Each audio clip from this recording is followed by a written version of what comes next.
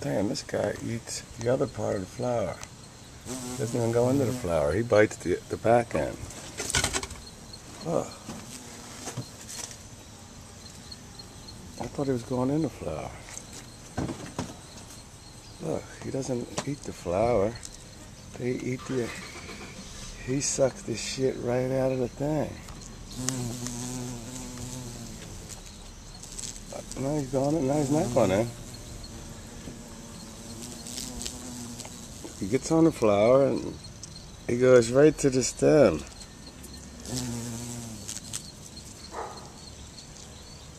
They just suck it right out. Wow, watch him put his little needle in.